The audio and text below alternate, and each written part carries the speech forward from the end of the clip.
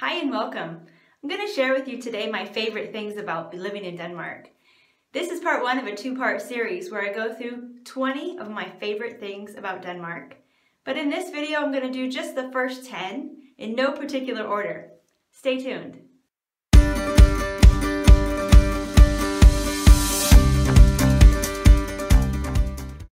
Welcome back.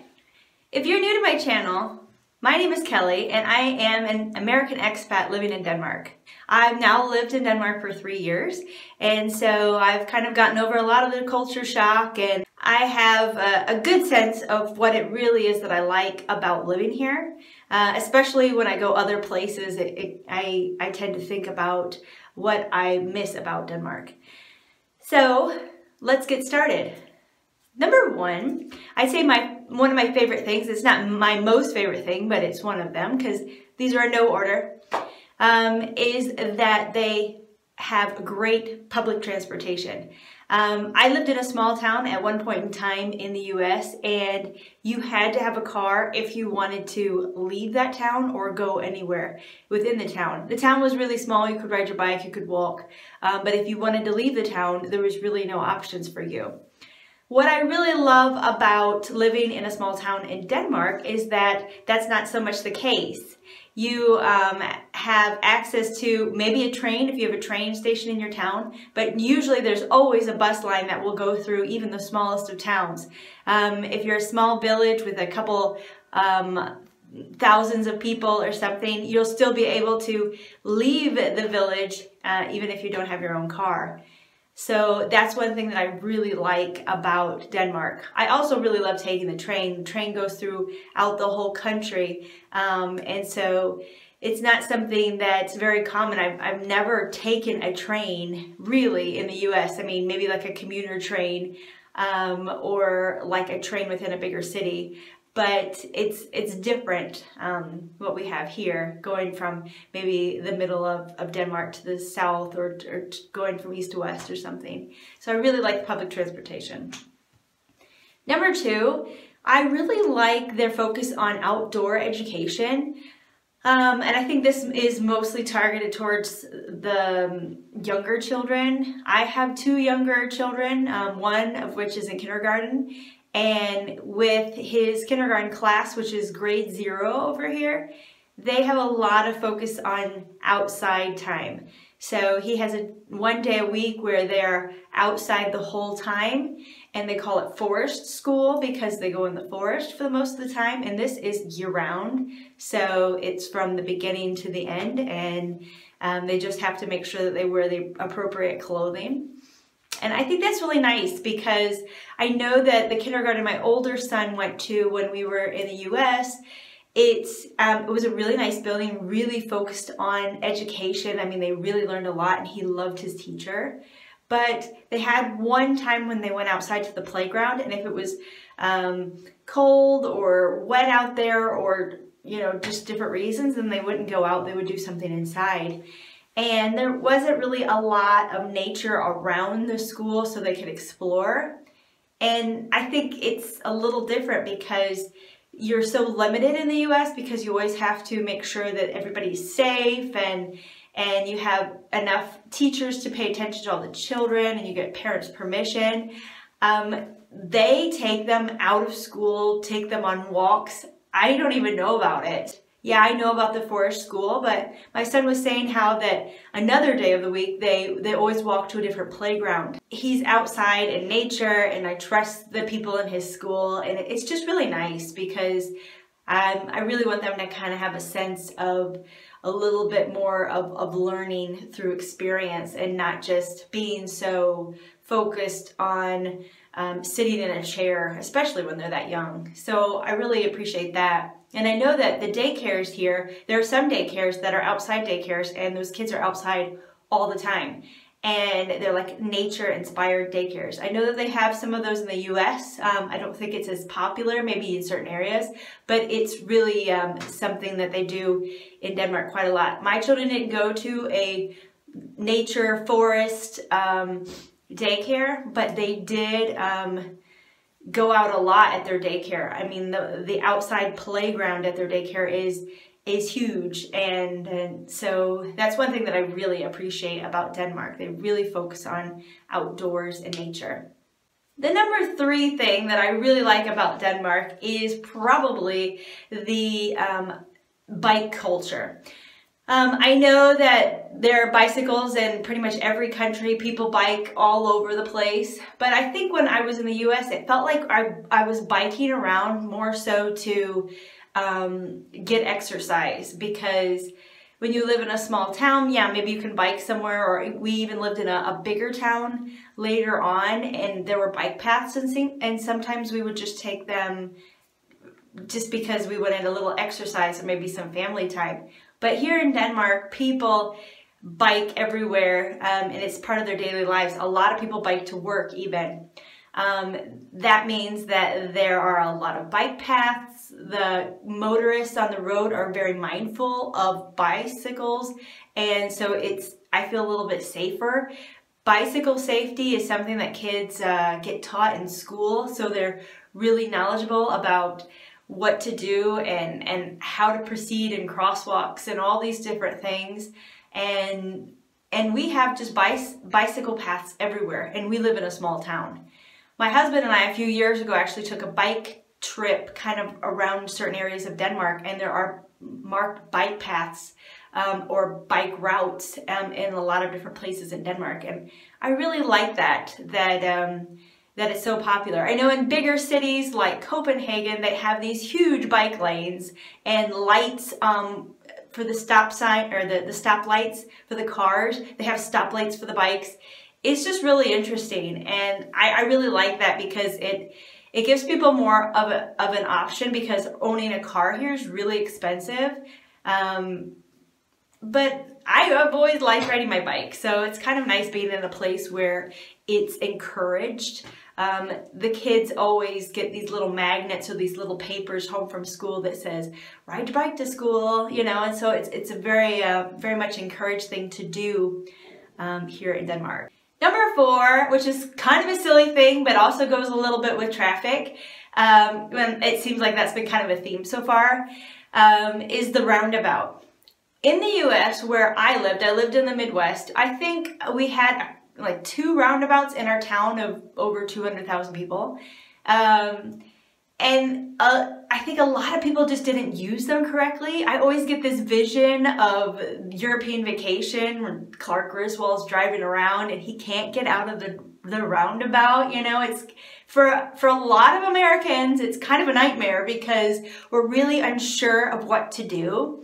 Um, I wouldn't say that everyone here is perfect with it. Maybe it's because there are some people who are new to driving or there are some people who aren't you know, Danish, I don't know, and they're not used to it, but I have come across some other people where they didn't realize what lane they were in, I don't know. But I really like roundabouts because that means that you're not stopping and waiting at a stoplight, which I can't stand stoplights, um, or you're not sitting and waiting at a stop sign. So it just seems that I don't know, things just kind of work much more smoothly here when it comes to traffic. You don't really see police out monitoring that everybody's doing everything in the correct way. It, it just seems to happen. I know that there are larger roundabouts when you get close to a bigger city where there's two lanes um, and there are signs. So there are always signs that explain what it is that you're supposed to do. But I really like the roundabout. I don't know it's just something that I've kind of gotten used to. And when I go other places where they don't have them, I keep thinking, hey, they should put a roundabout in here. That would really make things a lot better. Number five um, is location. We live in the middle of the peninsula of Denmark, so we are completely landlocked. But again, I come from the Midwest, so being landlocked is no new thing to me. Um, but because Denmark is so small, you are never really far away from the coast. Maybe it's about an hour and a half drive from where we live, but then we are on the coast. Um, so we can go camping or, you know, we could just go out there for the day to the beach or whatever. So I really like that, that you're never really too far. Um, where we live in the middle, there are some nice lakes and um, you know, that, that's always an option if you want to kind of be around um, water. But I really love that we're not very far from the coast. There are some times in the summer when it gets really warm. Um, that's not, I would say, very common for Denmark and, you know, much of Europe. You tend to get some moderate temperatures where we live. But um, when it's warm, it's really nice to be able just to drive to the coast and spend the day on the beach. Um, so yeah. Number six uh, of things that I love about Denmark is that I think that Denmark is a very family-friendly country. Um, there are lots of uh, activities for families, and I wouldn't say that they're just for children or for adults, but I think that they're good for kind of everybody. Um, it's really nice that children are thought of. You know, when you go on a ferry, there's a playground in there. Um, you know, when you do different activities, there, there, there seems to be something for everybody. And I really appreciate that. And I think that the, the Danish mindset of, of uh, I don't know, how children fit into the their lifestyle or their, their um, social circles or something, you know, daily lives, how children fit into that I think is also different you just get this feeling, you know, when you go somewhere and you're thinking, oh, well, I really want to find something for the kids to do. I, we don't really have to find something. It seems like whatever we do in Denmark is kind of good enough for the children. And Danes are very patient when it comes to children. It's not like, oh my gosh, they brought their children, go away. Um, they're very patient and they're very understanding and they're very open and welcoming of having children around. So you never really kind of feel that um, awkwardness of maybe bringing a child to an adult type of function because uh, unless it's stated, there are plenty of times where people say, oh, well, this is an adult only kind of thing. Um, leave your kids at home. But um, I think that's that's fine to have those types of things. I mean, they have their play dates and birthday parties and things. It doesn't say on the invitation, don't bring your mom, but I know I'm not going to show up. Number seven of my favorite things of living here, I'd have to say is that I feel that um, life is a little bit more equal here when it comes to gender. Um, I know that there have been a lot of kind of marches and debates and things about gender equality in the United States and there definitely is a lot of um, division. I don't feel that that is as strong over here in Denmark. I, I think that there's less of, um, I don't know, a feeling of restriction with girl things and boy things and it's just here's a job that needs to be done and we're not looking for there to be a certain person for it it's just everybody's the same um, in Denmark, there's kind of this, um, it's like an unspoken law that everybody is equal, that nobody is better than anybody else. And that carries over with gender equality. Um, and so I think boys grow up not feeling um, maybe threatened by some things that might be girlish in other places, and then the same thing with girls. Um, it just makes makes you feel that you have a, a, a better you know, chance of, of, of being who you want to be and doing the things that you want to do because no one's going to say you can't. Um, I don't know. So maybe that's just my personal opinion. Um, I know that where I grew up, everything was very traditional and there were some traditional roles. Um, the house, you know, my dad worked and my mom was always in the kitchen and you know, and, and I, we, we don't quite have that here. My husband's the one who likes to do all the cooking. Um, he travels quite a bit, so of course, you know, I cook as well. Um, I mostly bake, but, but um, not a job that I'm looked at in society as you should be doing this because you are the wife or you are the mother. And it, I, I think allows us to have maybe more of a balance in our family because my husband knows that he is just as responsible for our children as I am, for example. That leads into number eight. Number eight is that Denmark has um, one year maternity leave. Um, so it's not like in the US where you get weeks and then you have to go back to work. Otherwise you could be um, at risk of losing your job. I remember um, I had both my children in the U.S., so this really doesn't apply to me, but I think it kind of goes along with the equality and and the value that they have on family life. But I know in the U.S., um, I think the year after I had my son, I, I had an evaluation at my job, and they said, "Oh, well, we noticed that last year you took this amount of days off," and I said, "Well, I had a baby." And, you know, I mean, it was that, that didn't really seem to change their mindset. Like, yeah, but you still took time off. You know, it's, it's always kind of a whammy to take time off work. But here in Denmark, you get a year to, to take off with your maternity. You can, of course, come back earlier if you want to. You can also share this time with your partner. Um, and so, for example, your husband can also get a paternity leave. And that means that encouraged by the Danish Cultural Society that they want the fathers to have that strong connection with their children just as much as the mothers because they're both parents. So it's parent leave, you know, and getting to know your child. And I really like that. Um, so even though it really does not pertain to me at all, I am not going to have any more children. So I won't be able to take advantage of that here.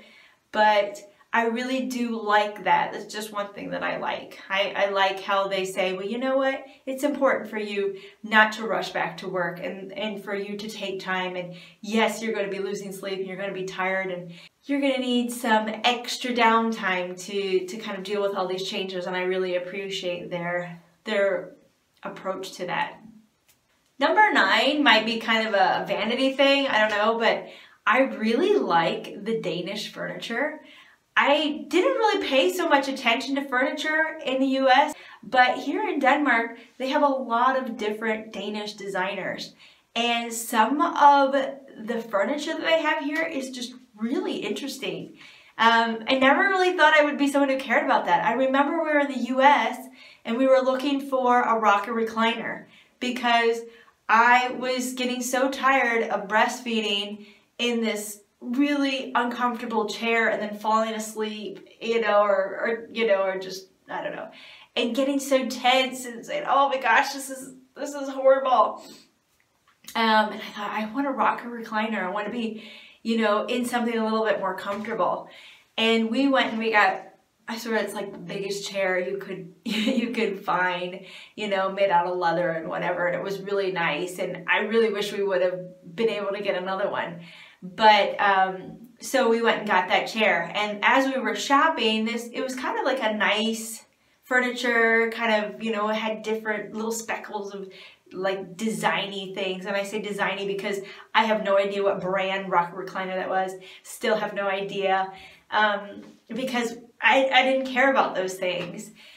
But they had some Danish style chairs that my husband said, oh, those are those look great. I'm like, eh you know, and I don't know, I guess it's just a different peace of mind, you know, you're, you're used to like La-Z-Boys and things like that, and this, um, uh, yeah, it's it's very different when you different styles when you think about furniture. The tables and the cabinets here are just so beautiful. I'm going to be doing a video um, soon that has to do with what I put in my dish cabinet because I have a dish cabinet. I mean, what?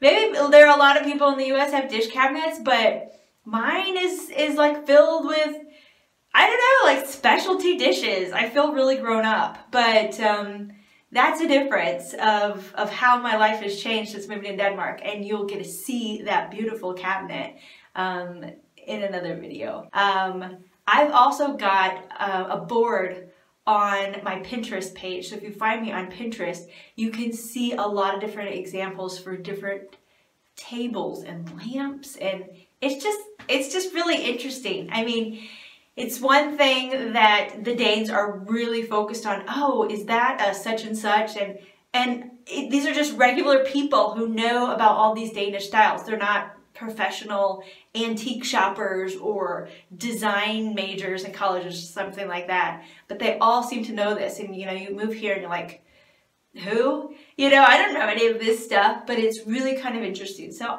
you know, you should check it out. Okay, and this comes to my number 10 thing that I love about Denmark.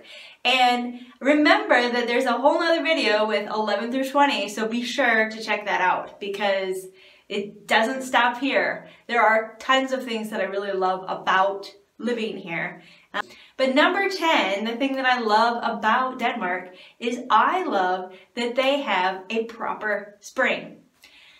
Again, I come from the Midwest. I felt that all the time in the US that we went straight from a really long cold winter and then all of a sudden you're wearing t-shirt and, and jeans around, no coat.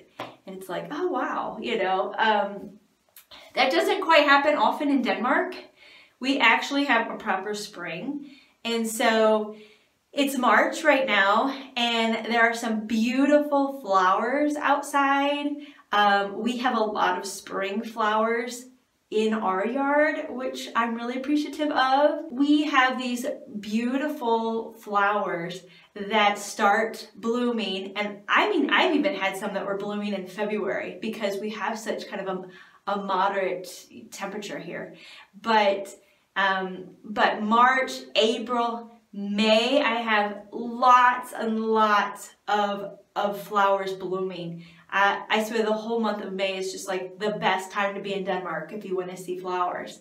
So I'm going to show you uh, some of the flowers that I actually have right now out in my yard. Some that are almost about to bloom, my daffodils, so I'm really excited though. I have small daffodils and large daffodils. It's just crazy. Um, but here's a look at what I have in my garden right now.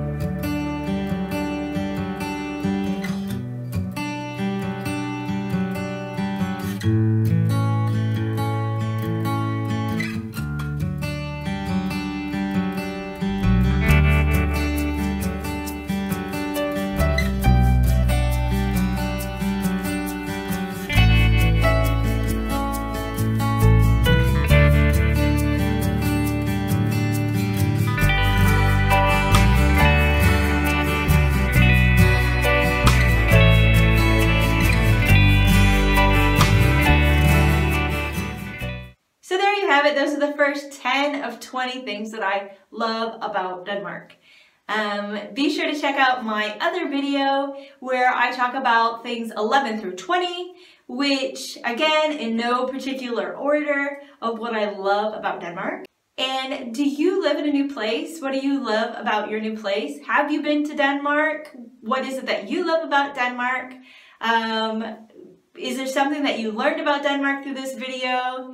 Give me some of your questions and comments below, and I'd love to read them. I'd love to answer them. Thanks for watching. If you like this video and like learning a little bit more about my experiences here in Denmark, be sure to like down below this video and subscribe to my channel where you'll get more videos on what expat life in Denmark is like and maybe also a little sneak peek at some of the places that we go um, here and also um, around in Europe. Take care.